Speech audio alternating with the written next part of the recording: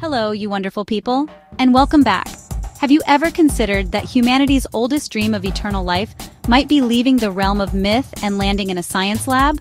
Something is happening right now at the intersection of artificial intelligence and biology that is set to redefine what it means to live and to die. By the end of this video, you will understand how our generation might witness the first humans to live for centuries. But first, we have to start in a very strange place. If you understand this, your perspective on the ticking clock of your own life will be changed forever. We all tend to think of aging as an inevitable one-way street, like a car where the parts just naturally wear out until the engine gives up. But what if that's not the whole story? What if aging isn't just a process, but a disease? And like any other disease, maybe it can be treated. For decades, drug discovery was like a sharpshooter, looking for a single silver bullet, a highly selective compound designed to hit just one molecular target to minimize side effects. But aging isn't a single target. It's more like a complex symphony of decline across countless biological pathways happening all at once. So how do you fight a war on a thousand different fronts simultaneously? The answer, it turns out, is with an entirely new kind of general, artificial intelligence. Instead of searching for that one silver bullet, AI is now helping scientists find compounds with a quality known as polypharmacology. Forget the lone sniper. Think of this as a special forces team, designed to engage multiple targets at the same time, modulating diverse aging-related pathways for a far greater effect. But what are these targets? Scientists call them the hallmarks of aging, which are basically categories of cellular and molecular damage that accumulate over time. They're broken down into three stages. First, you have the primary hallmarks, which are the root causes of the damage. This includes things like genomic instability, damage to our DNA, and telomere attrition, where the protective caps on our chromosomes get shorter every time a cell divides. Think of these as the first cracks appearing in a building's foundation. But that's just the beginning. Next come the antagonistic hallmarks. Ironically, these are the body's protective responses to that initial damage, but over time, they start making things worse. This is where our cellular powerhouses, the mitochondria, start to fail. And it's where we meet the infamous senescent cells, often called zombie cells. These are damaged cells that refuse to die. They just hang around, secreting harmful substances that cause inflammation and damage their healthy neighbors. Finally, we have the integrative hallmarks, which are the cumulative result of everything that came before. This is the endgame. Stem cell exhaustion sets in, meaning our body loses its ability to regenerate tissues, and our cells stop talking to each other properly.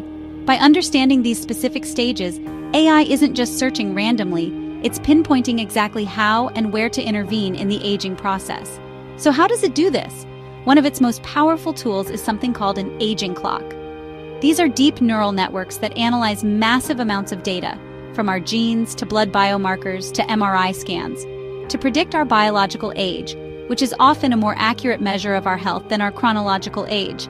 It gives researchers an unprecedented ruler for measuring how fast we're aging. But beyond just analyzing data, generative AI is a true game changer. It can create entirely new synthetic biological data and even design novel drug compounds from scratch, exploring vast chemical possibilities at a speed that was once unimaginable. This all sounds amazing in theory, but is it producing any tangible results? The answer is a resounding yes. We're seeing the rise of geroprotectors, which are compounds aimed directly at slowing the aging process. For example, there's a class of drugs called senolytics, designed to selectively eliminate those zombie cells. And they aren't hypothetical. Drugs that already exist, like dasatinib, are being repurposed for this, with over 20 clinical trials underway for conditions ranging from frailty to pulmonary fibrosis. Then you have nutrient-sensing modulators, like rapamycin, which works by mimicking the effects of caloric restriction, essentially delivering the benefits of eat less, live longer in a pill. But perhaps the most stunning breakthrough has come from combination therapies. A recent study in mice combined two different drugs that target two different aging pathways. The result? An average 30% increase in lifespan. 30%. And it wasn't just a longer life, it was a healthier one, with better organ function and fewer tumors. It suggests a multi-pronged attack on aging is the most effective strategy. And this brings us to the main event. All of this science is incredible for extending our health span, the years we spend in good health. But what about radical life extension? Living for centuries, maybe even indefinitely? This goes beyond just treating disease and starts to change the fundamental human experience. This is where the science fiction becomes a profound philosophical and societal question. Is living that much longer even something we'd truly want? One of the most prominent arguments against it is the boredom argument. Philosophers have argued that a profoundly longer life could lead to a sense of listlessness and a loss of meaning, that the finitude of life is what motivates us to make the most of our time. If life were endless, would we procrastinate forever? Of course, there are strong counterarguments. Humans are incredibly adaptable. We can continuously find new interests and joys. But what about your identity? After 300 years of new experiences and changing desires, would you even be the same person? The science is racing ahead, but our entire social and economic fabric is built around a certain lifespan. How would society even begin to cope? The most immediate concern is access. Will this only be for the ultra-wealthy, creating a new, almost species-level divide between the haves and the have-longs. It could dramatically worsen existing inequalities, concentrating wealth and power in the hands of a few who can afford to live indefinitely. Our systems for retirement and social security are already strained. This would demand aggressive fixes. Could you imagine having to save for a 200-year retirement? And what about families? They could become incredibly elongated beanpole structures with many more generations coexisting. That could mean unparalleled time with loved ones, but it could also alter our fundamental family dynamics. And the biggest question of all, the environment.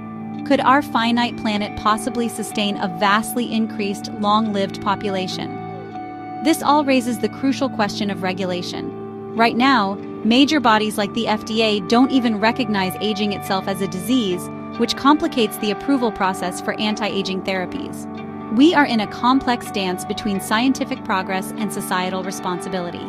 This deep dive has shown us a future where the line between science fiction and reality is blurring incredibly fast. We've seen the power of AI to unlock the secrets of aging and the real promise of new therapies.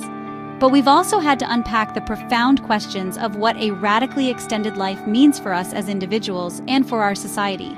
The drive for longevity is undeniable, and the potential benefits to our health are enormous. However, it's crystal clear that the path forward isn't just about cool technology. It demands careful ethical consideration and a steadfast commitment to equitable access. Thank you so much for joining me on this incredible journey. Your support means the world to us. You all are like family to us, and we truly love you guys. If this video gave you something to think about, please show your support with a like and subscribe for more deep dives into the future. And the next time you look in the mirror, just remember that the story of aging is being rewritten right now.